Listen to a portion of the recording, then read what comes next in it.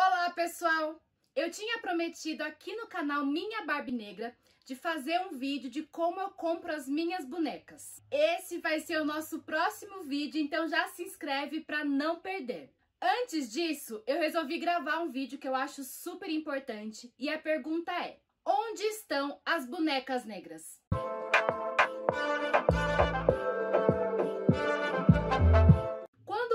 Você entra numa loja de brinquedos ou em qualquer lugar que vende bonecas, qual é a cor das bonecas que você encontra? Eu, nos meus mais de 30 anos, admito que todas as vezes que eu entro numa loja, eu sempre vejo pouquíssimas bonecas negras ou quase nenhuma. Mas aí ficam as perguntas que, inclusive, eu já fiz para alguns dos vendedores. As empresas produzem poucos exemplares negros? Ou as empresas produzem em quantidades iguais, mas os lojistas não compram. Ou ainda, as bonecas negras são tão bonitas e chamam tanta atenção que vendem mais rápido. Dificilmente a gente vai ter uma resposta concreta para essas perguntas. Mas o que eu posso afirmar é que essa falta de representatividade e de diversidade no mundo dos brinquedos tem a ver com racismo estrutural. E para exemplificar isso, eu pergunto: vocês conhecem o teste da boneca? Em 1939, o casal de psicólogos Kenneth Clark e Mamie Phipps Clark conduziu um experimento diferente, o chamado teste da boneca. Ele consistia na exibição de duas bonecas, uma branca e outra negra, para algumas crianças, que eram divididas em dois grupos, o das crianças brancas e o das crianças negras. Pedia-se à criança participante que atribuísse determinadas características às bonecas, bonita, feia, boa, má. O que mais tocou nos resultados foi a constatação de que a maioria das crianças, tanto as brancas como as negras, escolheram a boneca branca como a bonita e boa, enquanto a boneca negra era descrita como feia e má. Esse teste já foi feito e refeito diversas vezes, em diversas épocas, em vários países, e os resultados são sempre iguais. Todas as crianças veem as bonecas negras como algo ruim, algo negativo, e isso é muito problemático. Afinal, as bonecas são como espelhos, elas são feitas à nossa semelhança. Então isso quer dizer que uma criança negra, ela se vê de uma forma ruim, de uma forma negativa. Mas Rafa, o que isso tem a ver com as bonecas negras que não chegam nas lojas? Tudo. Quando eu falo da Barbie, a primeira boneca da Mattel, que era negra e que tinha o nome de Barbie, só foi lançada em 1979, 20 anos depois do lançamento da Barbie original. Eu falo isso num vídeo que eu já gravei lá no começo do canal, eu vou deixar linkado aqui embaixo para vocês assistirem. Na época, a Mattel foi super relutante em lançar a boneca, pois ela acreditava que a Black Barbie ia ficar encalhada nas prateleiras. Então, historicamente, a Mattel sempre lançou muito mais Barbies brancas do que Barbies negras. E isso esbarra no teste da boneca. E tem a ideia que os consumidores, assim como as crianças, verão as bonecas negras de forma negativa, por não acharem o seu nariz, o seu olho, a sua boca, o seu cabelo como algo bonito. Fora isso, a Barbie também foi construída como um ideal de beleza. Ela não é o retrato fiel de uma mulher. Ela foi construída para ser almejada, para ser sonhada.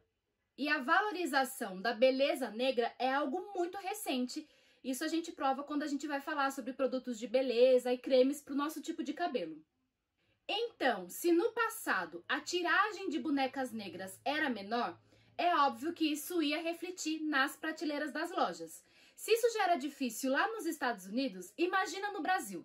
Tanto que as minhas Barbies negras da década de 90, que tem quase a minha idade, eu tive que pesquisar muito na internet e eu paguei preços nada acessíveis. Mas Rafa, e hoje mudou alguma coisa?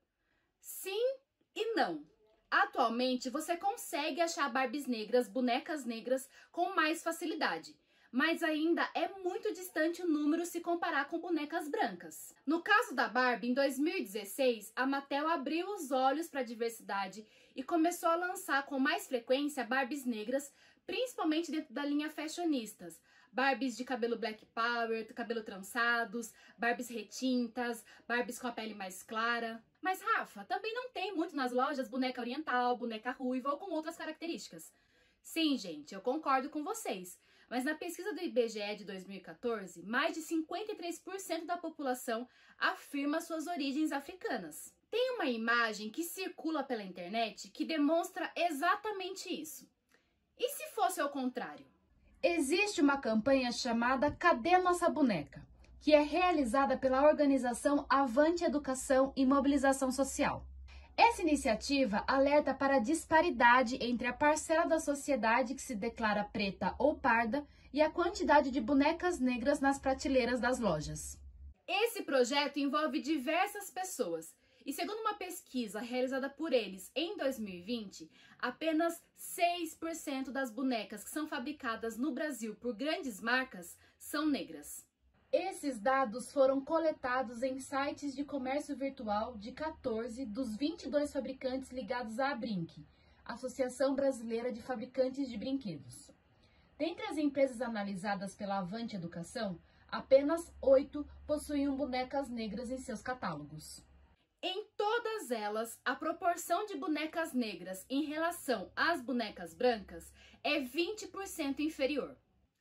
Para mim, essas informações não são apenas leis de mercado, como muitas pessoas dizem. Ah, mas é a oferta, é a demanda.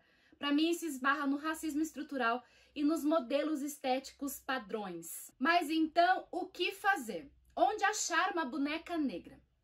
Primeiro passo é que a gente tem que aumentar a demanda. E como a gente faz isso? Cobrando das lojas, questionando os vendedores, indo nas redes sociais das lojas, deixando comentários. E o mais importante, comprando bonecas negras. Não só para crianças negras, mas também para crianças brancas e de todas as etnias. Segundo, uma alternativa aos fabricantes tradicionais, você pode investir em um fabricante independente e também artesanal. Mas essas dicas eu vou dar no próximo vídeo, porque finalmente eu vou contar onde eu compro as minhas bonecas negras e eu também vou te falar onde você consegue achar bonecas pretas de todos os tipos e valores. Então, se você não é inscrito, já se inscreve, deixa um like, deixa um comentário. Muito obrigada por ficarem até aqui. Até o próximo vídeo. Tchau, tchau!